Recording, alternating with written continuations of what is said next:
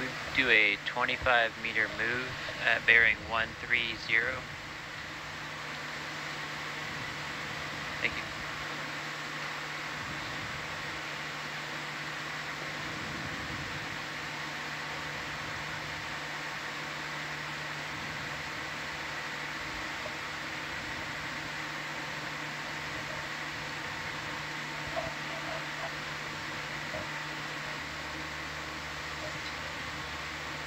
Whoa. Yeah, that's a wall.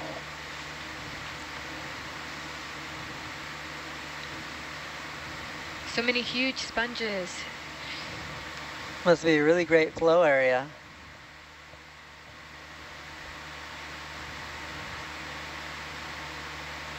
Some bigger corals too.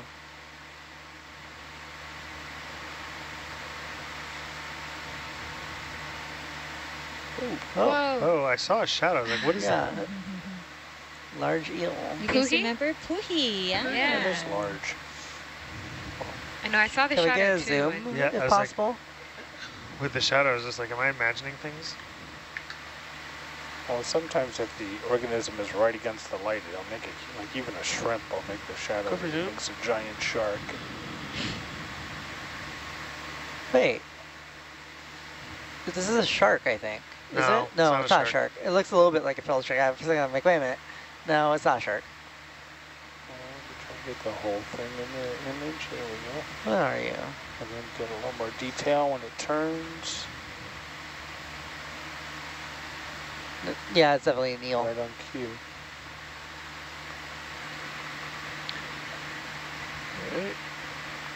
Gotta get going. Thank you. Looks like it's in good condition Mhm. compared to some of the other fish. Coming up. Seen. That is impressive wall. Yeah. I was thinking the exact same thing. Do you rock climb, Hannah? I know sometimes I'll hear you like look at a boulder and be like, I wish I could climb it. No, I do not rock climb. Oh, I I do, and I want to climb this one. Oh, wow. I just like climbing rock formations, but I I've never rock climbed.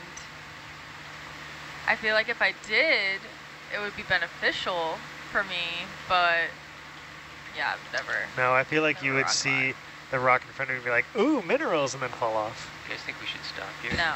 I think Uh, you would. I No, think I it would actually be terrified. Yeah, we should probably Science stop for a little bit. If they wanna You guys want to slow down and look around this a little bit more, or should I keep moving forward? Yeah. Yeah, we can do that.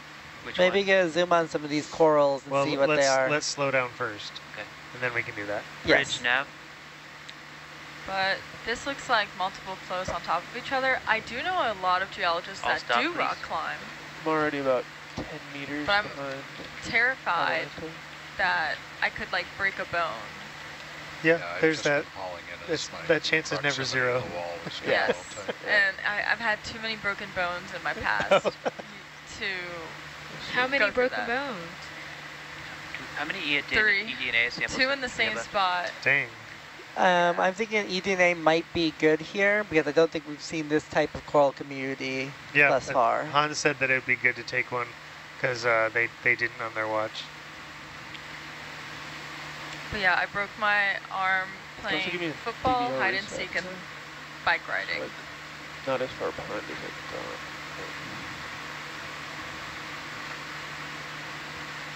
I've also like sprained my wrist playing on a trampoline and my foot getting stuck in one of the springs, and then I fell over and I landed on a tree root. painful.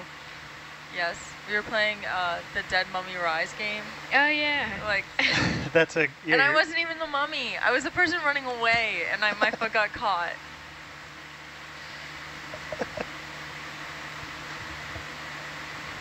Right.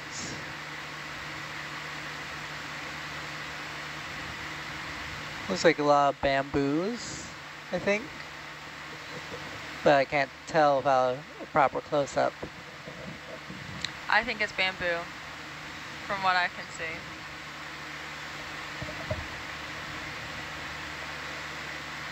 Maybe primnoids, but I'm leaning bamboo.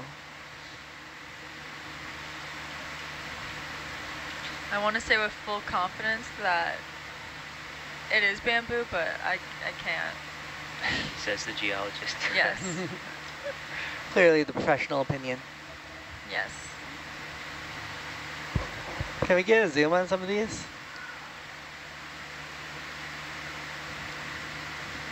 Yay. Thank you, Asako. Yes, Asako has confirmed that she thinks it's bamboo as well. Then we see the Iridogorgia to the left, one looks like a firework.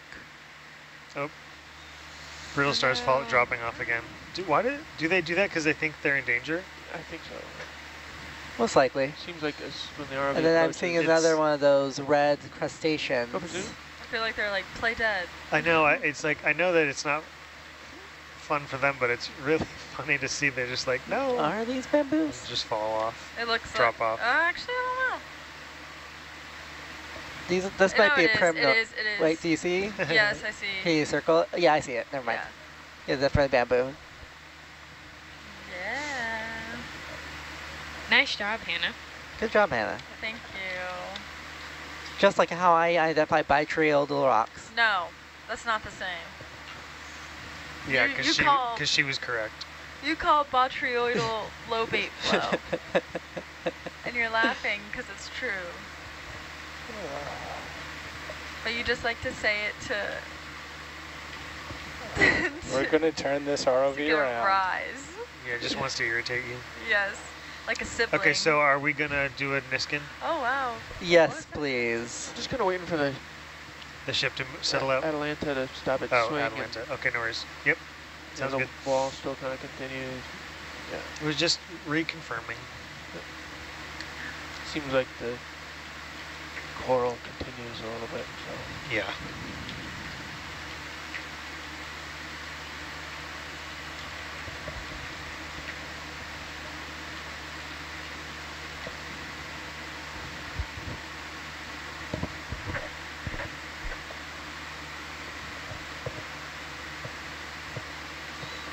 Yeah, mostly bamboo with an occasional primnoid and chrysogorgid. And then I believe a hemicorallium. Looks kind of sturdy.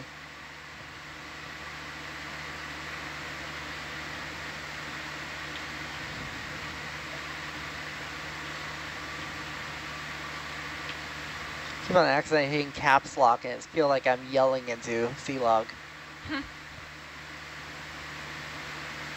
I love, I love texting in caps lock. probably a Sometimes. good spot. It's definitely yelling. Yes. Or excite. Yeah, yelling excitement. And oh my gosh.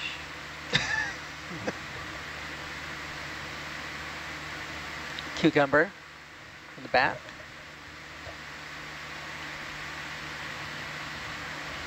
Apparently, I was listening to the 8 to 12 last night, and Daniel, because he does the highlights, he like Yeah. makes up these like funny titles He does. for all the highlights. He does. and I was listening Oh, to that's what funny. he was like calling them, and I was like dying laughing. I love that. I didn't know that. That's good. So I think we're gonna end this dive around 11, our uh, local time. Uh, Full and, wide. and then Roger that. Full wide, rack 'em back. it's like a 12-hour transit. I think we're gonna launch around midnight tomorrow. wow. So we'll, we'll they'll probably be doing most of the launch and then descent. So we'll be our, our next morning watch will be uh, on the on the ground running. Yeah. Which uh, Niskin are we going for? Um, Niskin three. Niskin 3. Mike, was that ending the dive at the surface or off bottom at 11? Uh, I believe on surface, that's at least, you know, the whiteboard just said recover at 11. So, I, but I agree, it's a little, I think it's because we launched around then. Very bright. Uh, we're trying to see inside the vehicles. We're exposing for right there, not the biology.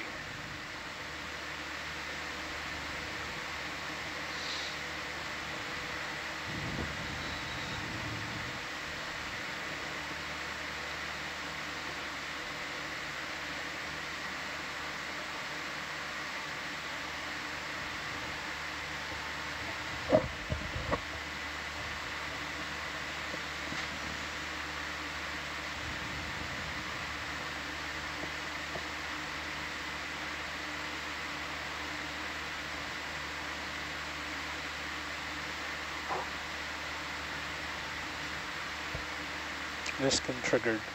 Thank you. That's sample 100. Hey. Wow. Three meters off bottom. A hundred. It's doing it again, I think. That's a lot of rocks. I love them. I love them all. They're all special Is it to palsy me. or the freeze just isn't working? Uh, it's the the halt button, I think, is starting to go again. Uh, It happened on ONC. Yep. Probably gave you nightmares. How many times we almost swung into the camera.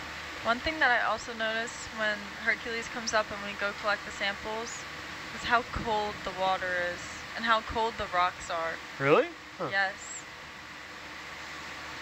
the worst is when you think you do the lock and then you put the master or the, the parent aside. Oh, yeah. Yeah. Yeah. Scott, um, we plan to rise around 11. It is currently what time? Uh, Almost 5 a.m. Almost 5, so we got another six hours or so. So about one more watch after us. it's unusual we would recover at 11 and not noon. Yeah, they, they may they may shift that to Oh. the we watch try and do it at a watch Oh, on bottom. I was just Um, we twice colle- the we number of ri- people. we should be on deck at 11. I think we depart the seafloor at 9. 9:30. Around there. Bridge nav.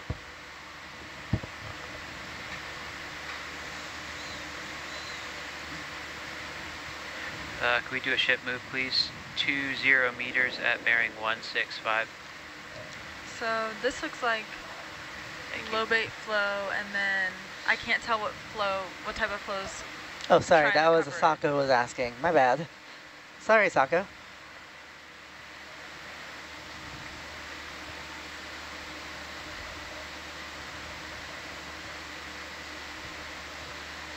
Hannah, you were saying lobate flow here? Yes. But I was trying to figure out what this flow is in the back because it looks like it's covering the lobate flow. And then this looks like a dike. Can you explain what a dike is? Yes, so it's an intrusion of a lava flow and it's younger than its surrounding rock usually. I'm not sure if I can say the same for seamounts. I was trying to talk with Dr. Val about it and that may not always be the case. Mhm. It makes sense. So But but it still often is. yeah. yes, uh, very much. Uh, yes, it often is. And on we noticed on the dikes that there's jointing, so you can see the different like planes of the rock. So I thought that was cool. We do have somebody did collect a sample from one of the dikes of uh, the pass of a pass seamount, and wow. Do you think these are all bamboo? Pretty sure. but we actually cut open one of the samples from the dike sample and it was full of hornblende, well, amphiboles and clinopyroxenes. So another Um, useful. can we get a zoom on these little orange dots on the bamboo on the left? Oh. Oh. Sorry. I did not mean to hit hit the the binder. Hannah, keep constantly assaulting my sample book. I it's I'm so sorry. You're fine. That one wasn't my chair this time though. That was my actual elbow. All right. Um, going in for zoom. Going for zoom ed. Gone in. Whoa. Oh. They are small anemones. Huh. This is super And they are bamboo coral. fun setup to be able to look at the ones in the back, Wow. That's a nice shot. then come to the ones in the front. Is it, do you just adjust near and far focus for this? Yeah, Yeah. it's this large slider I have over here, and it's super touchy. So if I move it, Yeah. that's two millimeters maybe. um, so I have a much better feel for if you're moving closer or further away Yeah. to something than you would. Something I try not to do, but Well, that's why I usually tell you. Uh, yeah, like if I if I'm continually having to make it nearer and nearer, I'll Like tell you you're, you're coming in yeah. Oh, is that a crab? because otherwise Yep, it's hard white to tell. galvade. Okay, yeah.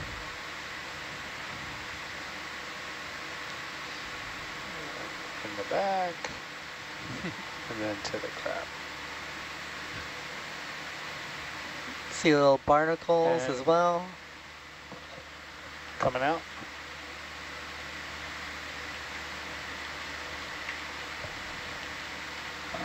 It's uh, almost like a piece of art right there with those lines. So this bamboo is a, as a, is a as yet undescribed species. It stands out by the acute angles of the internodal branches and the very angular spacing of the polyps on thin tissue. So, Aaliyah, now that we've been fortunate enough to receive our sample number 100, is there a way in to describe or language that would talk about like uh, getting knowledge as a gift or receiving a gift of knowledge? Yeah, um, there is a way to um, talk about it. Um, I think a more important way would be to actually, um,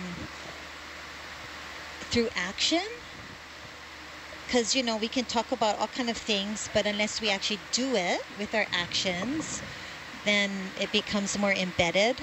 So, um, yeah, you know, when we think about um, the place that we're in, Papahanaumokuakea and its significance um, to Kanaka Iwi, we are, you know, grateful to be in this space, this Aina Akua, place that usually humans do not enter.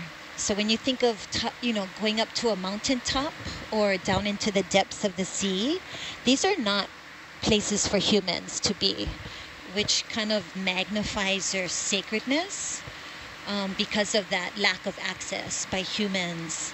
So when we enter these realms, so we're now in the realm of Kanaloa, um, you know, this is a sacred aina. Um, this is a sacred space. And so when we enter it, we enter it with reverence, um, with gratitude.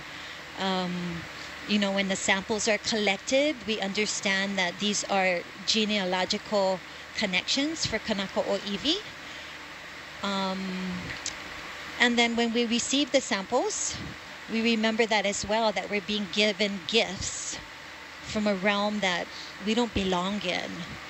Um, there's, you know, there's just, this is a Hawaiian perspective. We're in a Hawaiian space. And that's what our perspective is, is that these are not places that we normally go to. So that level of reverence and that level of respect needs to be deeper um, because we're not traditionally allowed in these kind of spaces. Thanks so, So much. mahalo for That's great. asking. Yeah.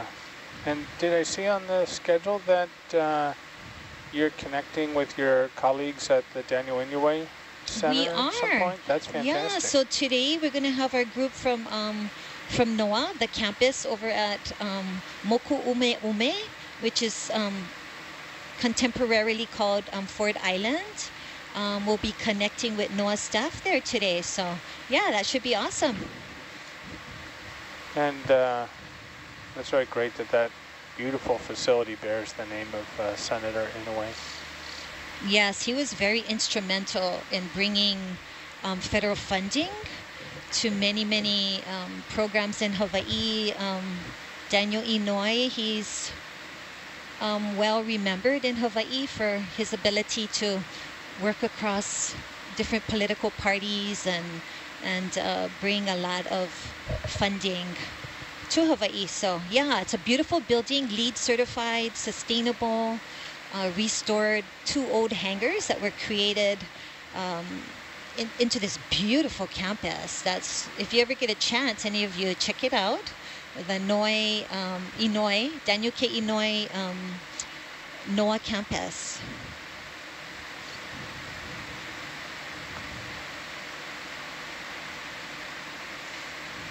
I do believe I visit next month. Oh, cool. Are you doing a tour or are you just? I believe we're doing a tour of the Marine Option Program. Oh, So might see you there. you might. Might see you and Hans. This uh, weird parallel. About 10 years ago, I was sailing on a vessel and we were um, sailing from there on, as you said, the modern name Ford Island. And uh, many, many years early, earlier in uh, early 1940s, uh, grandfather had flown off of that airstrip to land on a carrier to, uh, and we shared the same destination of Kwajalein, uh, but very different missions.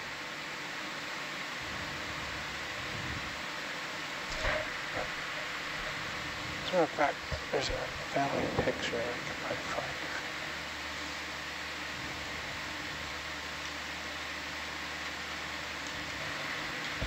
All right, I'm about to hop off for an interaction with an elementary school, some third graders. Oh, that sounds like I fun. No, I'm excited. But I'll be back soon. See you All right, soon. See you soon. Have fun.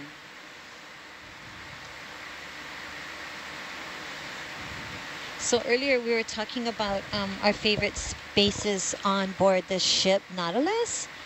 And um, when was it? Two days ago, I saw some Manu Oku. So these are like fairy terns. They're beautiful white birds with like deep black eyes. Um, and they actually are indicator species for voyagers. Wow. And so there were two of them that were flying off the um, the stern. I think it was yesterday, yesterday morning. But they're great to use if you are a navigator. These birds indicate the closeness of land, as we're only about 25 miles um, from Ku'aihelani, um, which is known as Midway. And so Polynesian voyagers use them to determine direction and closeness of land because they come out during the day and feed and hunt and then return in the evenings back to their nests. So a great kind of, um, you know, when you have environmental data that tells you things about land and um, you can follow those birds if you're ever out and you don't got any compass or GPS and you know that's how Polynesians navigated their world was by being very attentive to those um, environmental signs.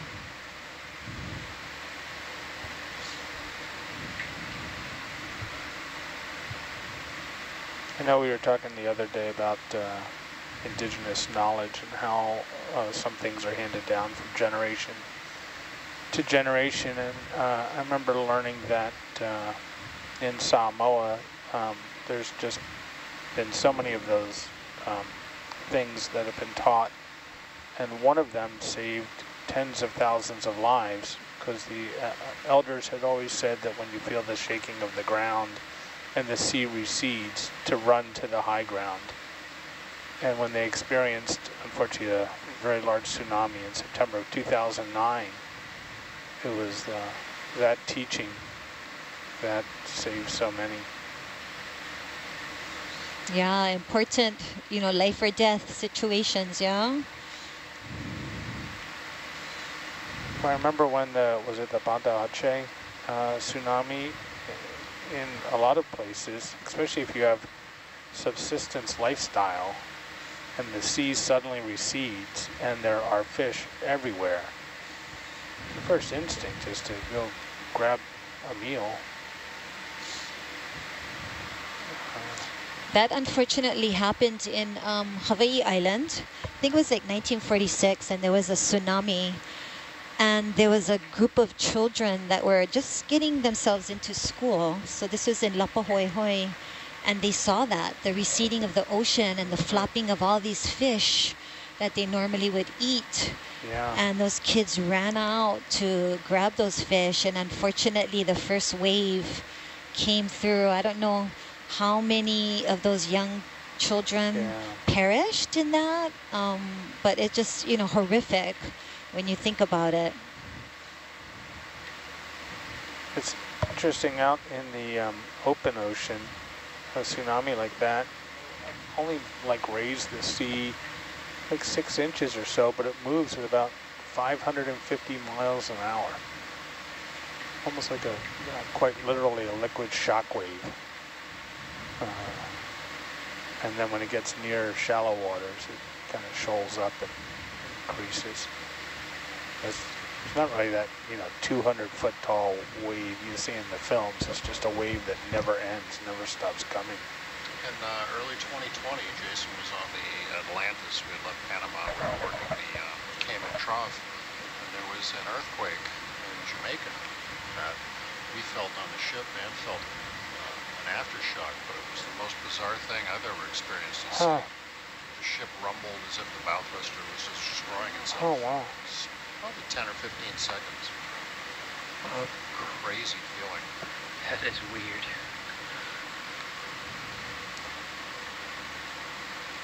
I'm seeing a few more possible red anemone associates on these colonies as well. So, Mike, uh, in your marine maritime archaeology field, have you gotten uh, uh, developed skills for identifying uh, aircraft at all? Like what they look like before they were in the ocean? Where's he gone? He's gone. No, he's back there. Might have to yell his name. Yeah. Dr. Brennan. Line one. Are you on SPL right now? Uh, I am. He is not. Video's trying to talk to you. Oh, go ahead. Um, hey, are you able to identify World War II era aircraft? Um, like not down to the specific plane, but right, no. era, yeah.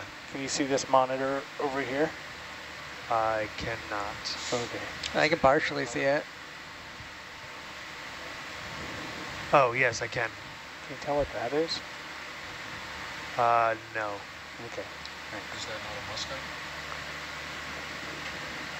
what? What are we looking Mustang? Bridge nav. I believe there weren't a lot of planes with That kind of curvature right there? Just curious.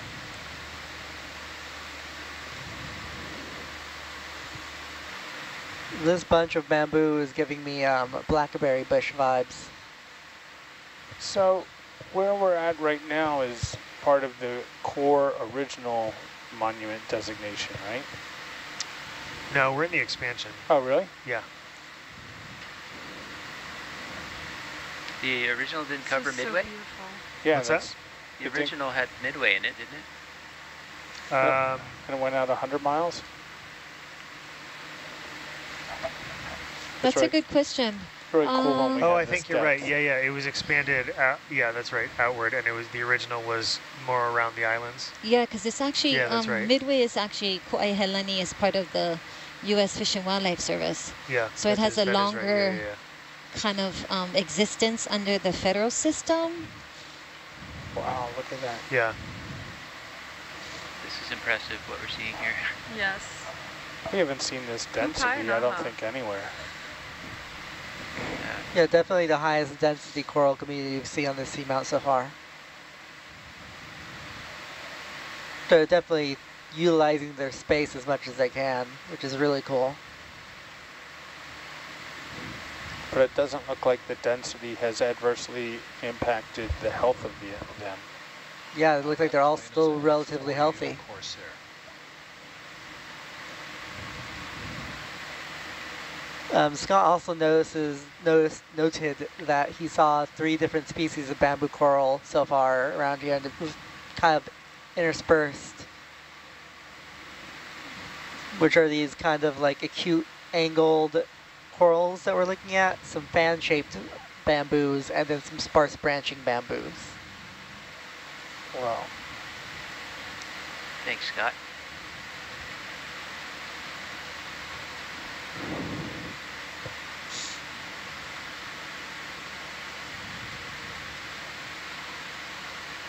So last time I sailed with Scott, we were on the Mid-Atlantic Ridge. Doing a trip to the Azores.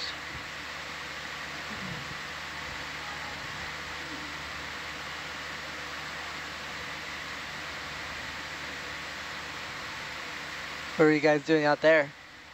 Uh, that was on the Okeanos Explorer, um, and yeah, just exploring the Mid-Atlantic Ridge, and we were partnering closely with a lot of the scientists that work in the Azores and um, characterizing a lot of the deep sea coral and sponge habitats all along the Mid-Atlantic Ridge. And our focus was really on looking at some of the off-axis, so off the main spreading center. Um, there's very impressive ridge features running along sort of parallel to it. I've lost you, Jake. And seamounts. I know. I I was pulling to get closer look at that coral It's just mid- abundance. So most mid-ocean research is most research has been done on the actual spreading centers, but not on the adjacent Oh, ridges and If you- habitats. Is it frozen? yeah.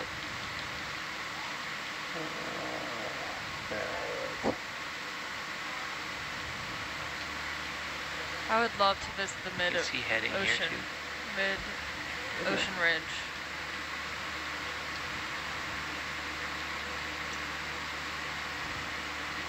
Hannah, have you seen any of the uh, ROV footage of uh, deep sea hydrothermal vents? I haven't seen Nautilus footage, but I have seen footage in general. Yeah, I think we have to restart pretty it again. remarkable. My Yes. first um, tr uh, leg aboard Nautilus was looking at the Von Damm hydrothermal vents in the Caymans, which were really cool. It's amazing to see just clouds of blind alvinocarid shrimp just engulfing these hydrothermal vents. And the hydrothermal vents, instead of being a typical black smoker, had clear, shimmering um, fluids instead, which is really unique of hydrothermal vents. It kind of gave like this huge cloud a very, of, of anemones, a beautiful shimmery look. It was quite an experience.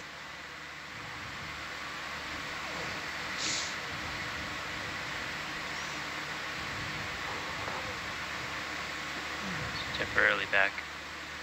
I'd like to find bottom before we reset the Yeah.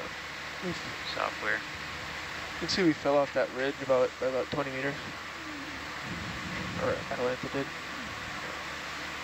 Uh, which direction do you want to go to get back to it?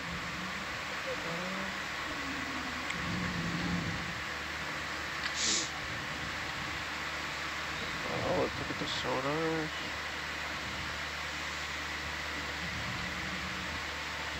Southwest. Let's go, yeah, south.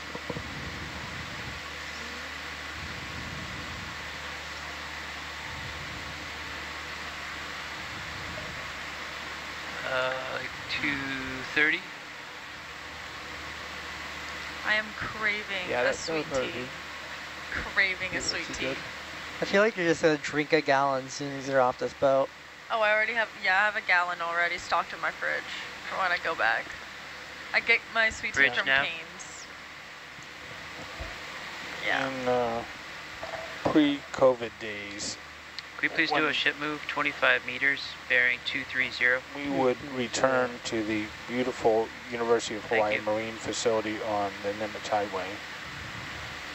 Um, we would race over to a lovely establishment in Nico's and everybody ordered salads. Yeah, that place is great. Good Yeah. food. Yeah, Wait, what place? Nico's. It's like on the pier right next to us. Uh, I'm looking it up. yeah. It's over by Pop Marine. Goes. I've seen it. I've never eaten there though. Oh yeah, man. Upstairs, they're fine dining. Oh, good food.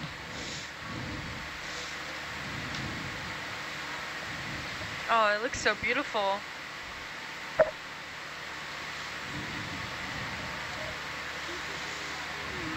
Okay, so it looks like we re refound the ridge. Yeah, breakfast, lunch, and dinner. We gotta figure this out. It's that RAM issue. Yeah, Something's hogging. I think it's the DVL track. Yeah. Can we shorten it? Doesn't need to be as long as it is. I think there's like a, a number of points. That, yeah.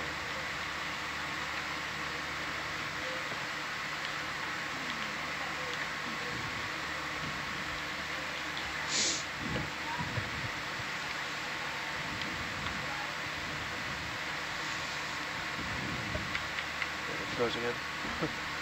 Alright, I'm just gonna close it.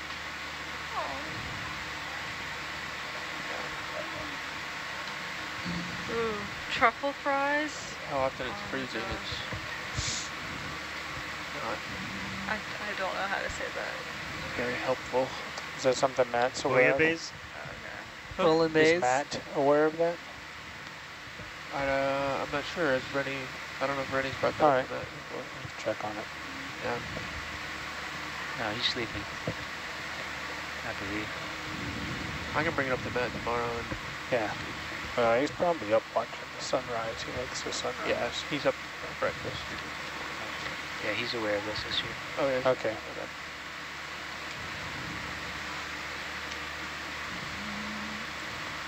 One of the challenges with a system like this that's permanently attached to a vessel is we operate from March to December. So there's no real time to just dig in and do a bunch of changes. We have to do those on the fly.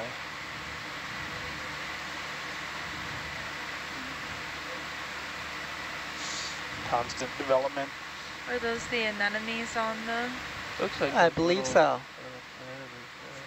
Some of the orange anemone associates.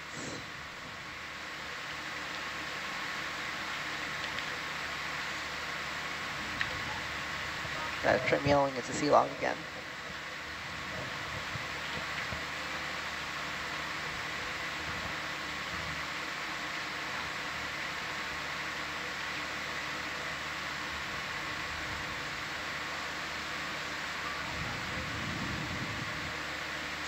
All right, Sako, enjoy your map nap.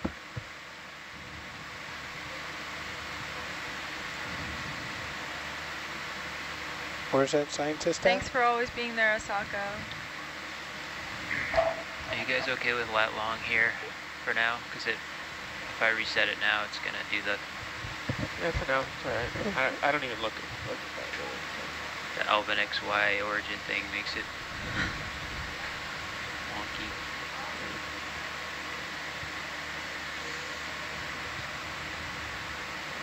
Wow, this coral community just continues. Mm-hmm. Yeah. Down to the end. Can we actually get a zoom on the lower ones with the little bit weirder branching? Like here? Yes. Sure, coming down.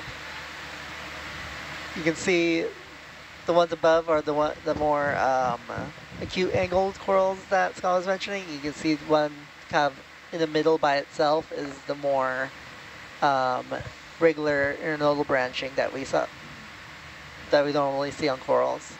I'm curious about these a little bit more because these don't seem like they are sparse branching, but they aren't quite like the others. All of a sudden, it just got freezing cold. Yeah, it feels colder in here than, than Alright, go for usual.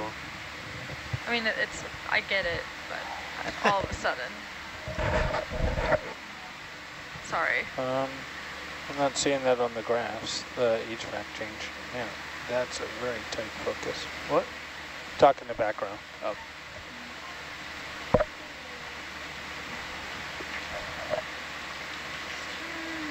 Is that what you're looking for, Sebastian? Uh, yeah, I got a ni couple nice shots. Thank you. Sure. There's a base too. Still partial.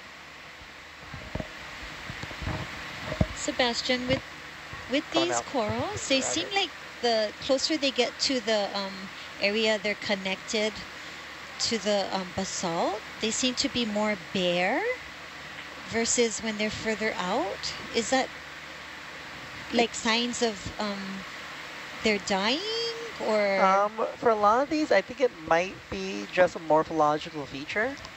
Um, it could be a, feature of some type of wasting, maybe, but um, that would be more Asako or Scott's um, ball field. But to me, it seems like this seems to be more of a morphological feature. Maybe the polyps move up as they grow out. Mm. Um, but yeah, some of them definitely look more uh, living than the others. Maybe like the ones up top that look kind of all yellow and bare are unhealthy or dead.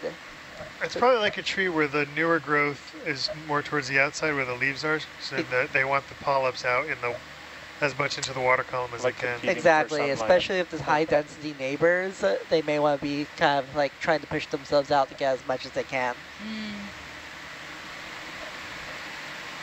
Corals, some, some shallow water corals do this as well.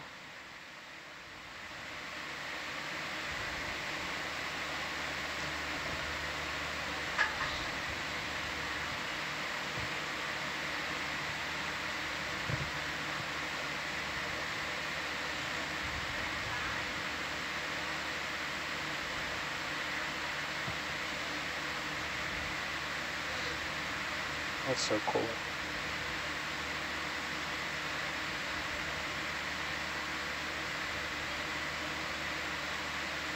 Yeah, this guy, this does remind me of like a, almost like a desert bush, but underwater, in a way. You know what I'm saying? I want to say yes, but Tumbleweed.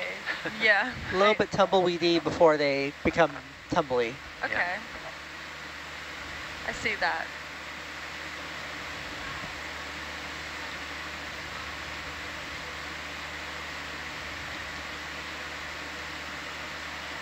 I'm looking at the sponges that are just up on my screen right now.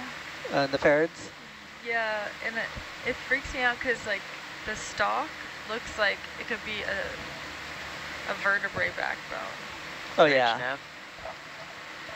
Well, like certain structures happen multiple times in nature for a reason. Usually they're more stable or more structurally sound. Yeah, it's just crazy to see.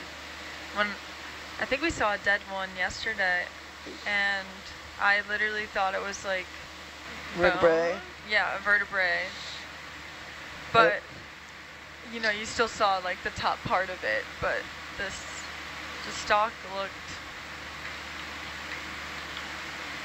looks like a vertebrae backbone.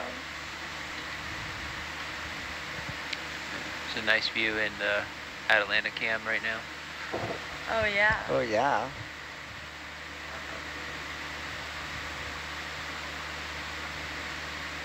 It shows you how dense it looks. It's impressive.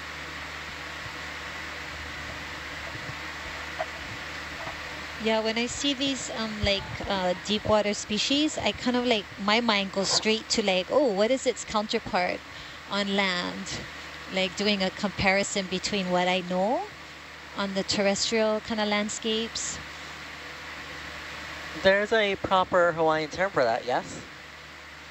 Um, well, it's part of the Kumulipo, actually, that you have these partnerships and relationships between um, things that are growing, organisms in the ocean, and then organisms on land. So they could reflect life cycles or like physical characteristics, but they're like partner species.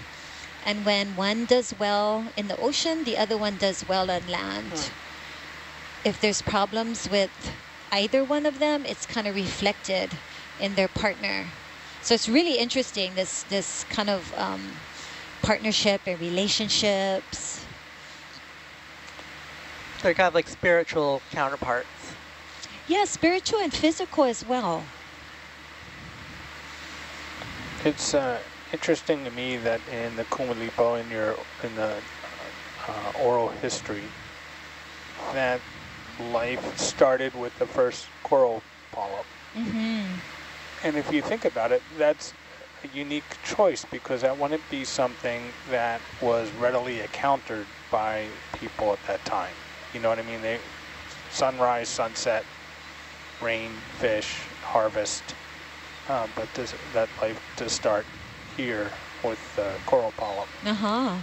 And if you So- think of some of them, they're not even discernible to the human eye. Right, right.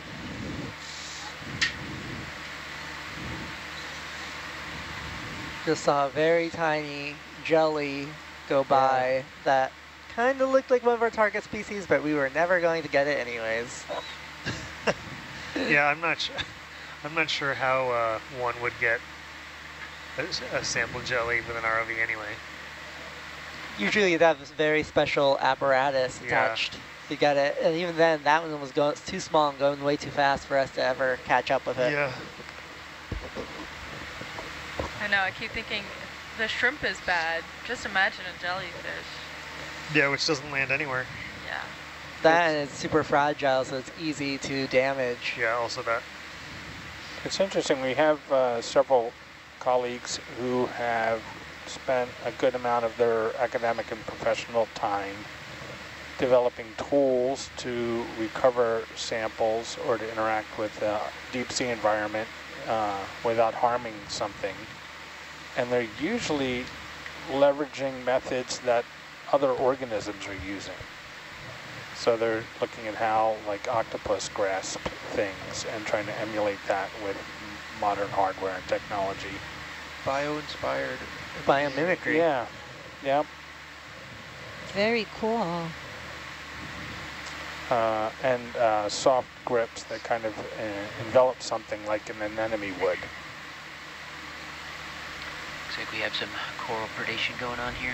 Yep, Yep. uh, orange sea star eating some bamboo, it looks like. I mean, he has the pick up the litter. Start Where he wants to eat. any problem I believe it's goniasterid. Is that just hanging on there? I presume. L- looks Go on like it. it's so funny. Believe what was the word is, you used for when something had stuffed itself That's For something that's what? that had eaten too much? Small anemones. Something that has eaten too much? Yeah. Like engorged itself. or something? Momona? Or Yeah, I think that was it. Like you, Yeah, you, after breakfast. momona, you like have a big fat plate lunch and and, yeah, then you're, yeah. That's a good term for this starfish or sea star. kanak attack. And then it looks like there's some kind of small um, coral or anemone right there on the rock as well. This large be- individual polyp. All right, I'm getting into this. Yeah, Book. in, interesting to watch over time because how's it going to Taking transfer from that branch to the other one? Well, you could just probably just let go and fall another one of how da- high density it is. Huh. Yeah, Scott's saying this is a great place for a sea star to live. Tons of food.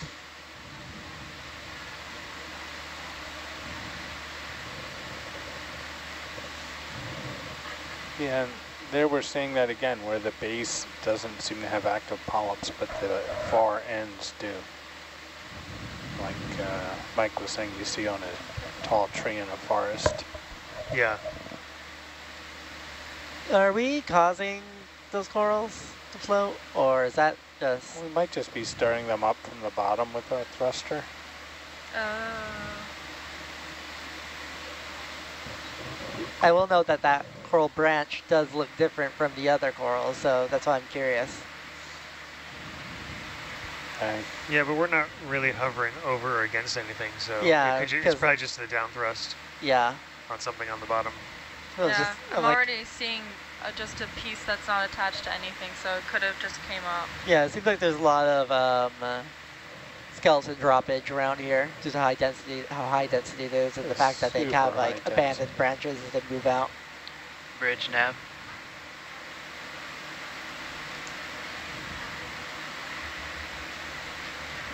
Please do 25 meters at 190. Thank you.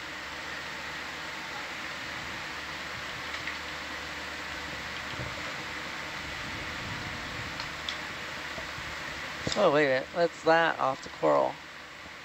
The gray thing? Yeah, I see it. Ooh, I don't know. Right of Oh, wait, it might be attached to the rock. It is. It is. It might be some kind of dead sponge, maybe. Maybe I a dead see that. Maybe.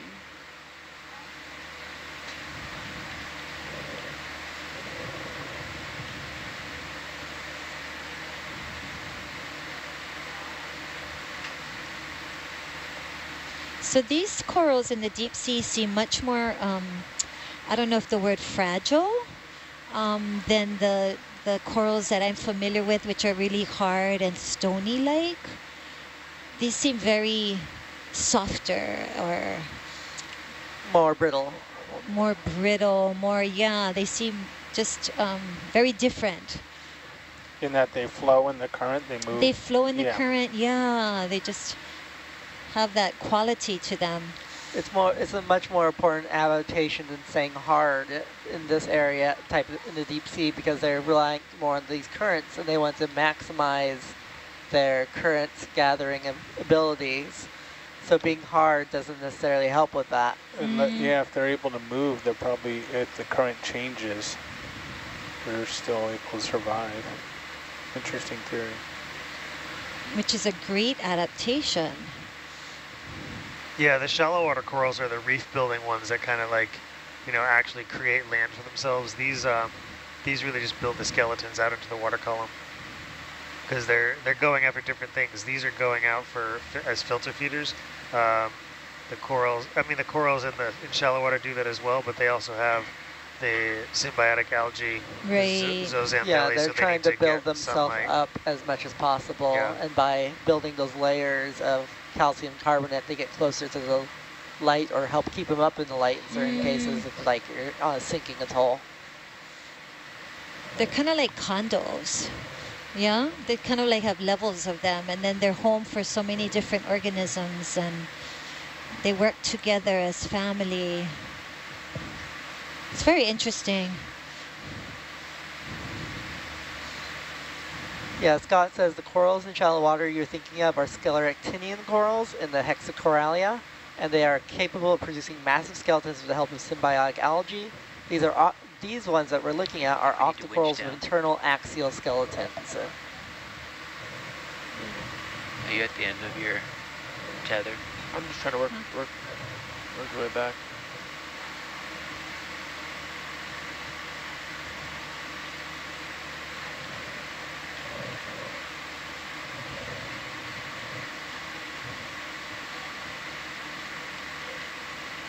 Looks like we've got two eels here.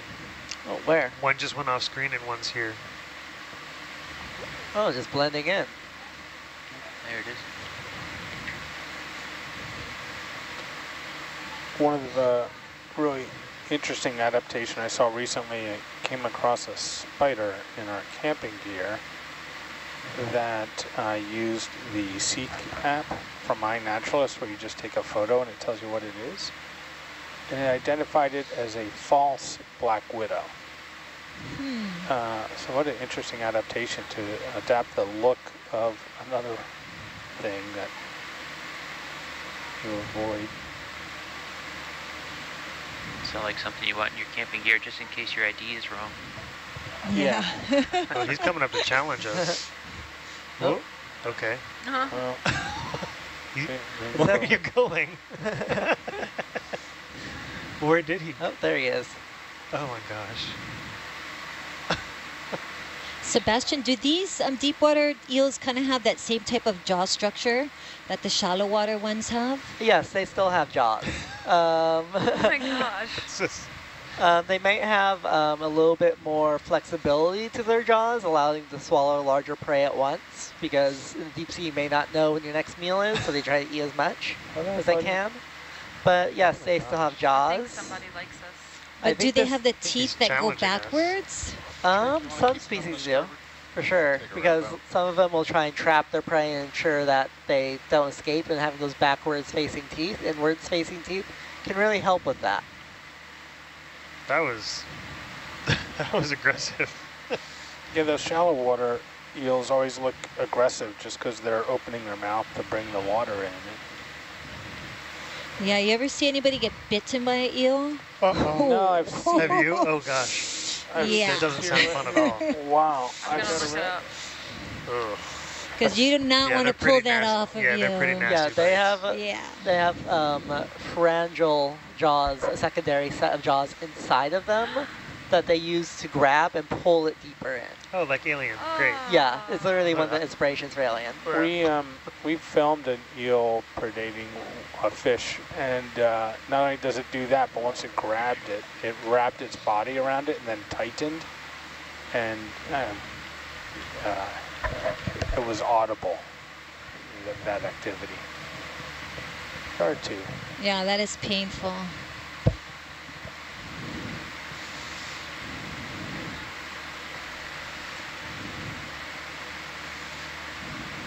So, I wonder if there's something about having all these corals here that makes it an environment well suited for the eels. Well, these high density coral communities are typically associated with a lot of um, other organismal activity.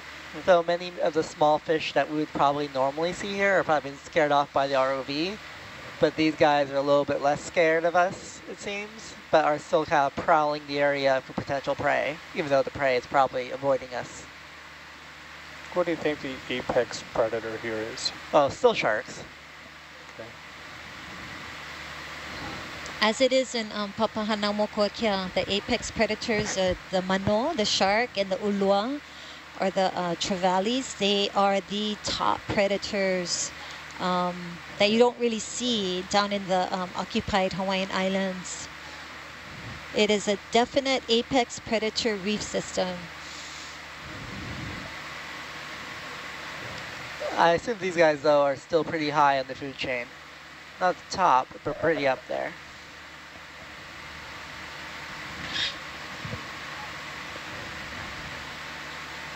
Bridge nav.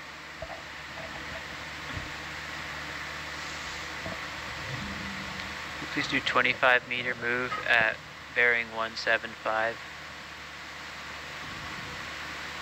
Thank you. One seven five.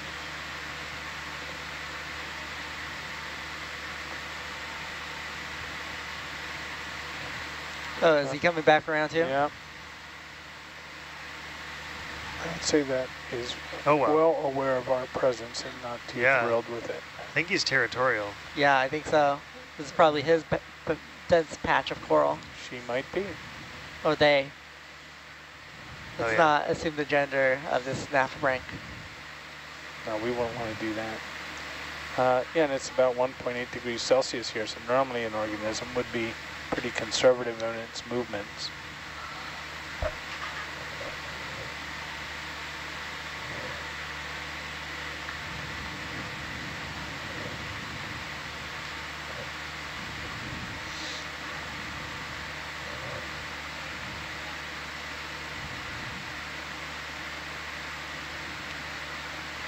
So Scott's noting that these um, branched bamboo corals that they haven't dis- fully described yet have all been seen in these super, super dense patches. So this is a normal physiology, habitat building sense for them.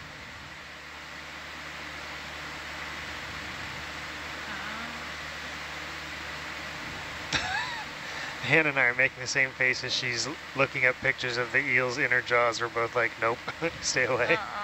That is really. Ugh. I never even thought to look up. I didn't even know that. Oh, and they're so prevalent. So when I grew up in Hilo, Yeah, we don't really have like a lot of sandy beaches. It's mostly like basalt. yeah. And so there's so many puhi eels there. So, I mean, we would see them all the time. And we learn not to stick your hand or your face in pukas or holes Uh, yeah. because that's where they're hanging out. So, um, yeah, I have seen a lot of people get bit by Oh. eels. Awful. Yeah, that, I mean that makes sense about the beaches because that, that's still the uh, the youngest that's the youngest of the of the islands and Mhm, Yeah. that hasn't had the wave action to make the sand yet.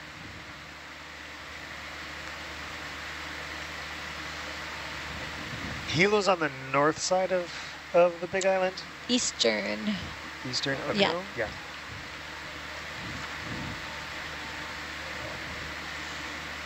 Yeah, that, that's one of the islands I haven't been to yet. Oh man.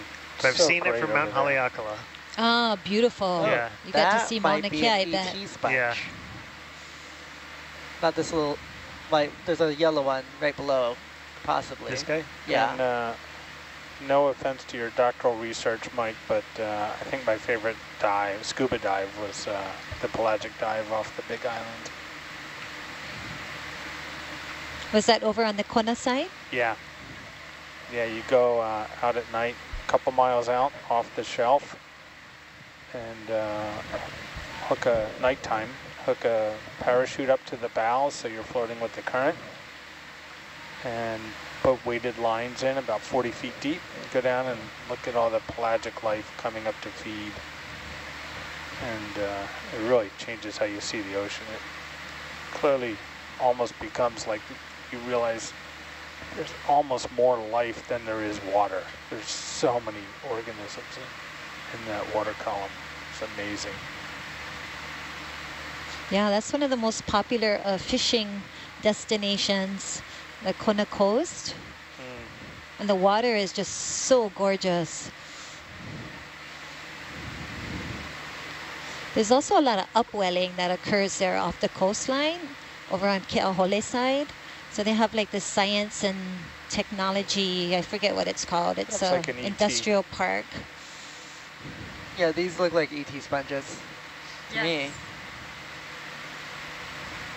I was gonna say that, but It's I so doubt it interesting how uh, Too bad Tori isn't in here. We'll have to capture capture an image for her.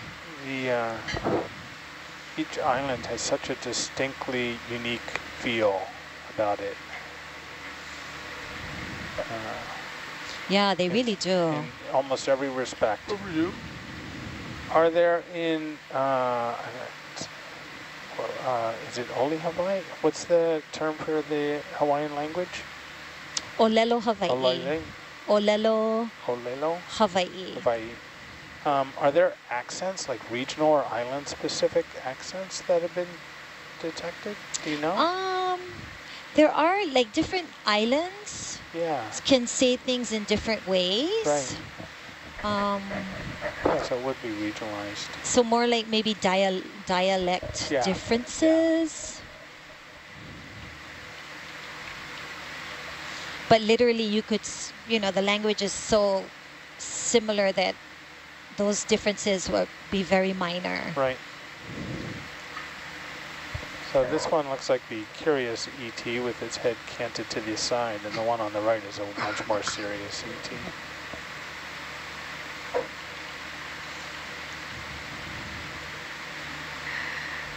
Oh, I love this. I come back and we're looking at two. Are these ET sponges? Pretty sure. I'm double checking because Scott France put a scientific name in the chat. Okay. Oh, I love them. Oh, that sediment looks very different right there. Yes, ET sponges. Yay. They're called Advena, no, Ad, Advena magnifica. Ah, Magnifica. Advena is from the Latin advena, which means alien, but in the sense of a visitor, a foreigner, or an immigrant. ah, And these, can we get a zoom on these? I think these are bamboos, but I want to double check. Yeah, they look uh, Because we're kind of like, looks like we're kind of approaching the edge of that Yep, bamboo reef. bamboo for sure. A zoom. Zoomage down on this one is probably the better. Yep, definitely bamboo. Bamboo fans becoming more prevalent. Yep. Thank you.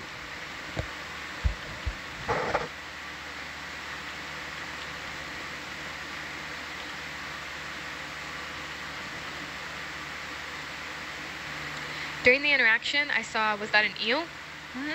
It Was that the same eel hanging out like the whole time or was that Yeah, it yeah. was very Territorial. territorial and Oh. not happy we were there. It's like, Oh. get out of my space. Here's a big rock. Hannah, can we collect this one? Um, I don't know. It's too small. Too small. Too small. The sponge here survived.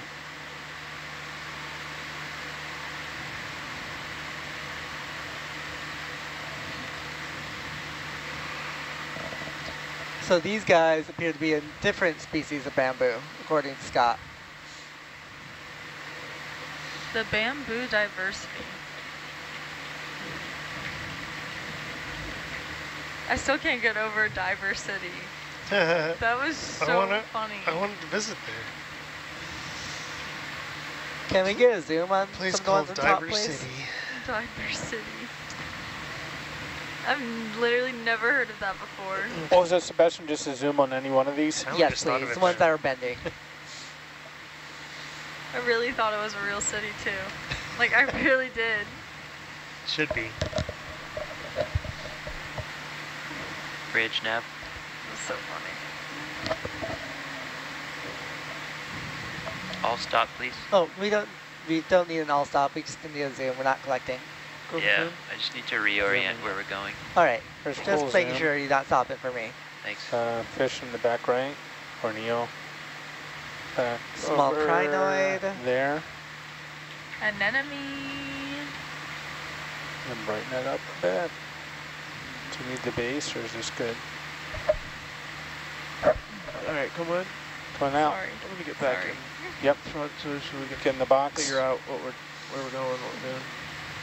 So, Malia, uh, I think if I remember the numbers correctly, you said there were 30,000 people who are uh, speak Hawaiian, and I think 6,000 children in the schools. Uh-huh. Um, Currently, yes. and is that trend moving upward? If, if you look at it over time, are those numbers increasing?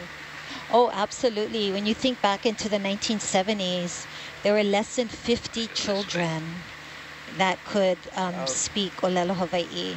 Yeah, just, Southwest-ish, almost? South, southwest? uh, I don't. We don't want to go out there. We want to go this way, Southeast. southeast-ish. This way. Yeah. What are you at? One five five.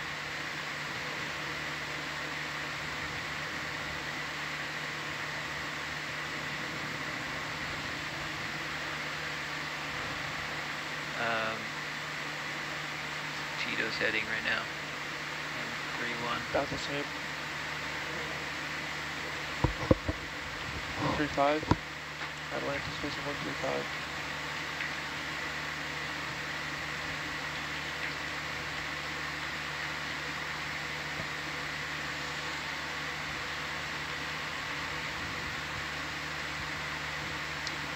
The sonar target showing the rise off to the north. Are these sheet flows, Hannah? Maybe we should Looks just go like due it, east then. But I don't know. Due east. I think I see a lot of pebble fragment, rock fragments. we don't want to go north again. That's where we came from. We're supposed to be moving this way. I can't tell if it's a sheet flow or a lobate flow. I can't tell. I'll just say flow to the I've West. got nothing on the sonar to the north. Excuse me, to the To east. the, to the east. is it the east? So it seems like south is where to go. 'Cause we Right. Eh? came from the north. We, Yeah. we let's want to do- go that way anyway. Let's so, do 170. Yeah. Uh, how big a move you think? Um, Start with 20. yeah, let's start with 20. So, Malia, if you went off island for a holiday, although I, th I think maybe you said you had relatives in Idaho, uh, do you have a favorite spot you like to go to if you leave the island? Um, Can huh, we that's zoom a on great this jelly question. if possible? Sure. I do love Idaho. Yeah. And it's beautiful. Just the, the access to get a gear the if you want to. environment is pretty incredible. Go for. Going in. Holding. Oh, that's pretty. Pretty. Uh, send that to Dhugal Lindsay at JAMSTEC.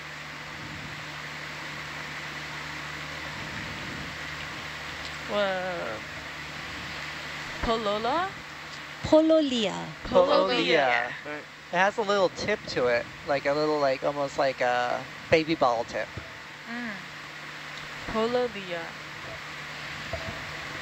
So yeah, we were talking earlier about um, Olelo Hawaii and the resurgence of the language. So in the 1970s, there were less than 50 children that could speak Olelo Hawaii.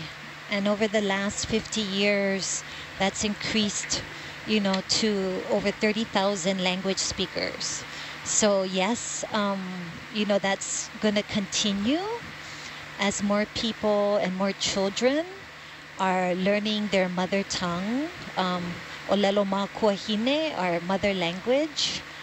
And um, that's exciting because as we know, culture is embedded in language. You cannot have culture without language. And so um, that normalization is happening. So there's been a reignition and then now it's becoming very normal to hear Hawaiian language, where 10 years ago it was like not. It's interesting that, um, you know, it's it's chicken and the egg, what which came first, but there was um, those events in the 70s and 80s that, you know, there was very strong uh, individual Hawaiian personalities combined at the same time with some threats to some really sacred areas that just seem to, I don't know, be uh, the start of you know, kind of uh, more Hawaiian-centric thinking and appreciation of culture, maybe is a way to say it. Yeah, and I think too it was also a um, reframing of history. That's a better word. Um, because of the colonial system that Hawaiians are under, the story of our history was never told. And it took Hawaiians, Kanaka Oiwi, going up to Washington to the National Archives and digging through that, researching um, our history, that the real story of Hawaii's occupation has been told.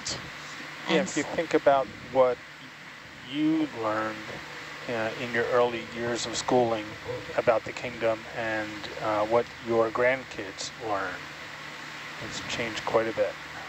Oh, hugely, because we never learned about our history right. in the Department of Education. We heard about the Treaty of Annexation, which doesn't exist. There's no such thing. our history was fabricated. So now that we, we understand what our true history is, that, you know, the truth will set you free. Who's the brilliant person who said that?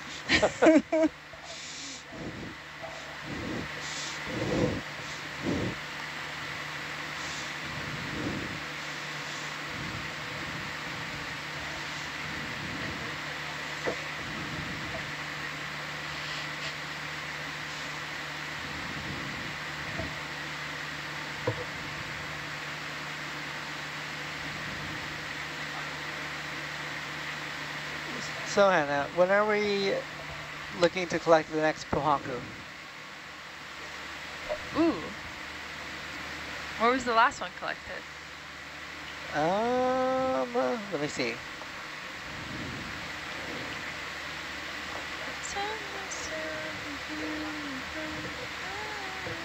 At um, 1207, so about three hours ago at depth of 21, 22 meters. 22 meters. 21, 22 meters, yeah. 2,122. Yes. So they collected between waypoint 4 and waypoint 5. Oh, wow. Or we do? Hold up. Let me double check because there's no way that it's been that long. Bridge nav. Yeah, because it was sample 99. It was the last sample before we took the Please track a line bearing 170 at 0 0.2 knots. Waypoint wow. 6 and waypoint 7?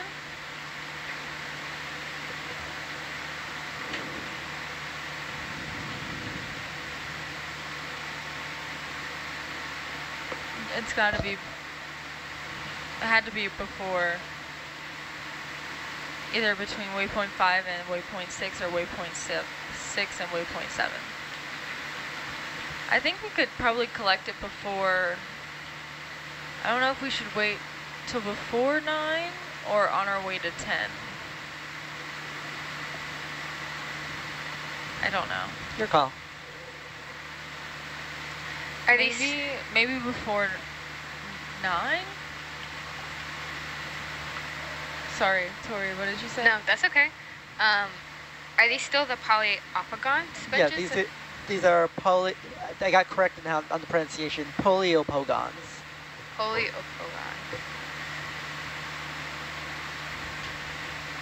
Very curious about the big fan in the back, though. Oh.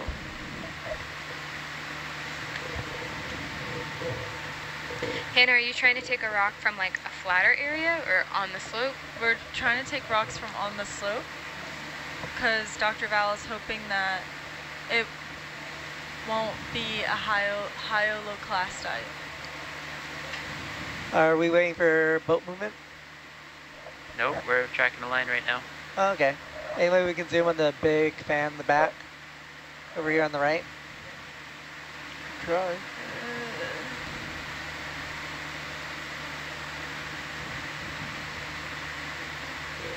I actually, Tori, yesterday, um, my high school that I I did from the here. ship to shore with, Mm-hmm.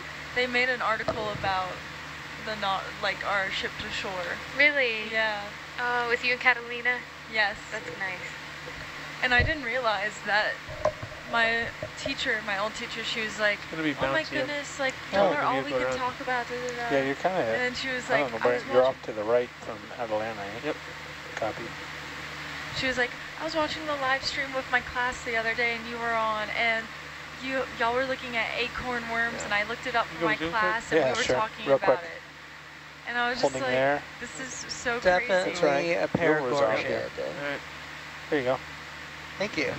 It's funny, from this angle, it almost has a bonsai look Or a to it. coralliidae, okay. I could see that. Um, Scott, um, kind of newbie to corals here. Anyway, you can explain the difference between coralliidae and hemicorallium versus um, paragorgia?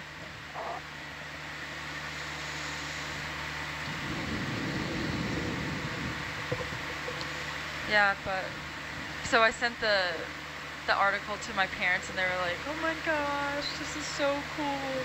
And I was like, I couldn't believe it. I know they were so proud of you to get that. Send it to me. I want to read it. I, uh, Okay. I really have uh, sympathy for your parents, coworkers, neighbors, friends, the grocery clerk. I'm sure they're telling everybody. No, no, no, you Oh. just go to nautiluslive.org. Um, Can we also get a zoom on this rock up here of the yellowish feature to it?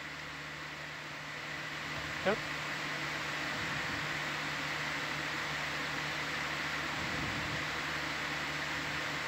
Go for zoom. Zoom.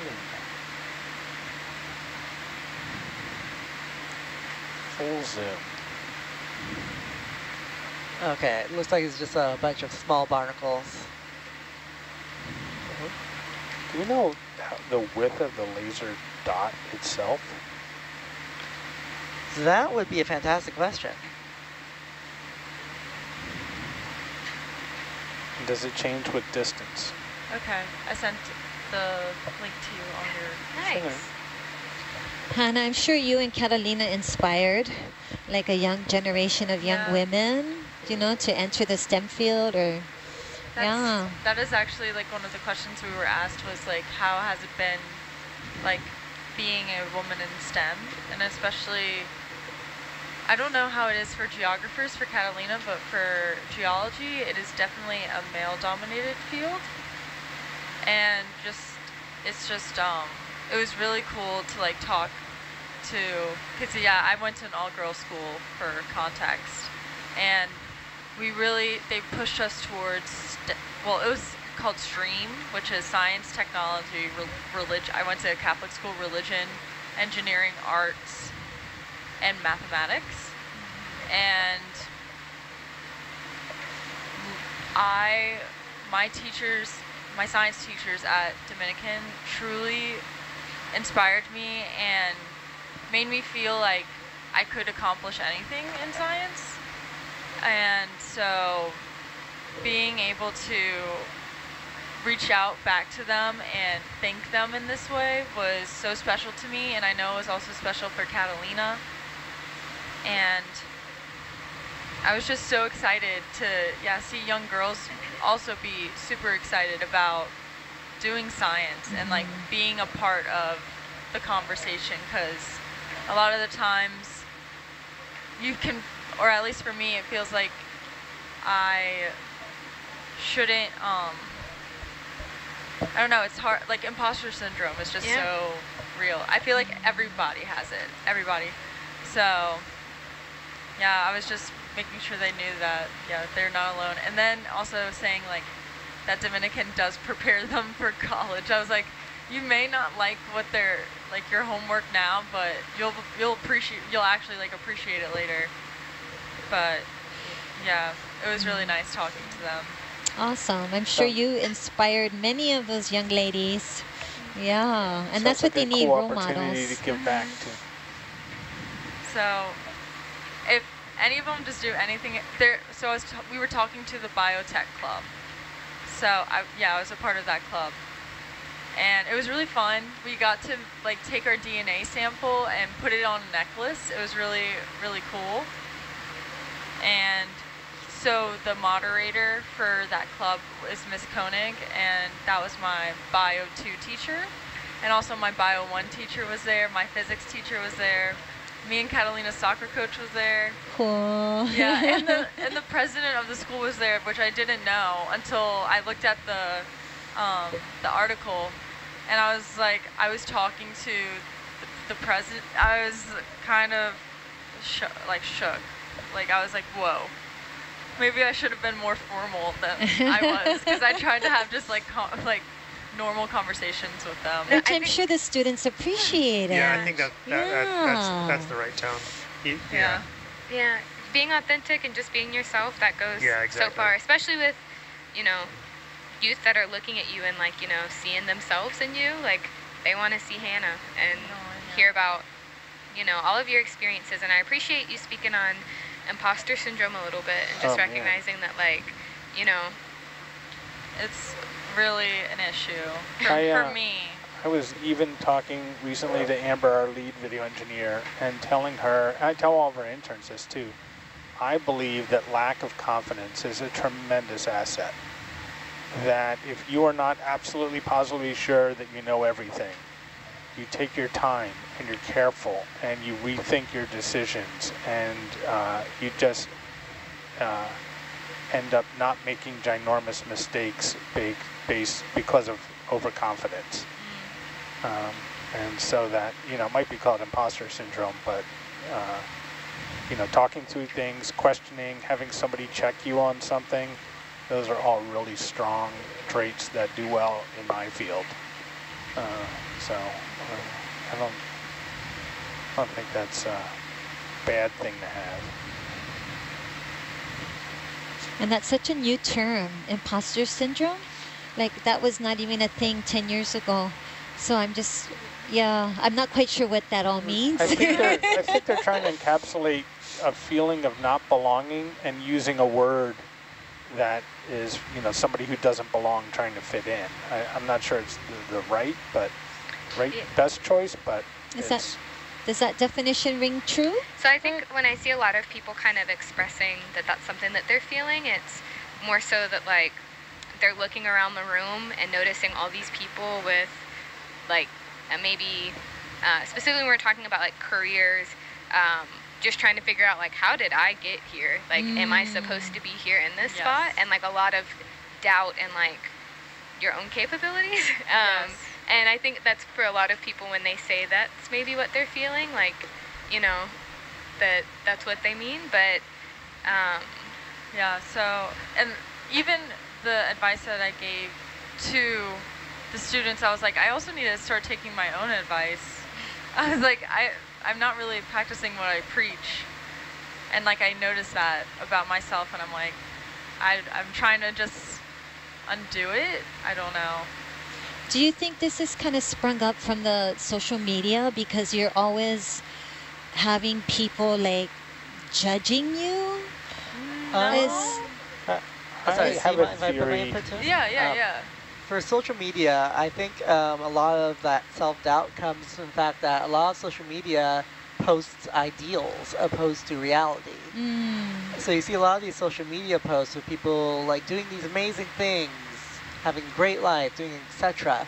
And that gives you a sense of self-doubt, like, oh, my life should be like that. But in reality, often or not, their lives are much more similar to your own. And they're just posting the very best bits of themselves to make themselves look better to everybody else. It's kind of like the new version of fashion magazines.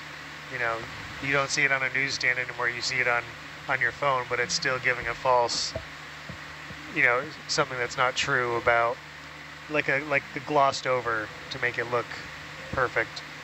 That's an interesting point. I hadn't heard of that, thought of that before. If uh, if you think about in, in terms of academia and uh, professional career for the young professionals that come out into an environment like this, it's an amazing opportunity. But they're surrounded by people, you know, like Mike is, you know, has a doctorate and is working for one of the eminent maritime archaeology firms uh, in the country, if not the world. And so it's easy to be intimidated and feel like you don't belong around somebody like that, I think, because I see it a lot in the young professionals that come out. And uh, I uh, have half a lecture on this topic, but uh, uh, it's, uh, it's, it's a real thing that young professionals, young academics certainly feel. Um, Scott France also posted in the chat about his experience of it. He says, I've been working in the field of deep sea biology since the late 80s, and I still experience imposter syndrome in situations. Yeah. But I've learned that it's okay not to know everything, and it encourages me to ask questions. I learn more that way rather than pretending I know. Hmm. That's really important, Scott. I really appreciate you mentioning that and Sebastian that you read it out loud because I think that's something that it benefits our viewers to hear too. Just that like, uh, one, we're in this space together working collaboratively because we learn from each other here. Like we're not coming here already just like knowledgeable about every single thing. Like we're here, we're learning, and that's part of this process, and um, that's really important. No, it was really one of the reasons why I was so intimidated to come on this boat was because I was so worried that I didn't know everything Oh. about anything. Uh, Well, not anything, but like about these seamounts. And I'm like, well, you they've never seen them before, so how are you supposed to know what is gonna show up? How are you supposed to predict that and be ready for it? That, that's Yeah. like the core of a career, though, is you don't have, you're, you're not going to know everything, but you trust, it's almost like jazz. You trust that you have this core skill set to get you through a situation, even though you don't know what the situation is going to be.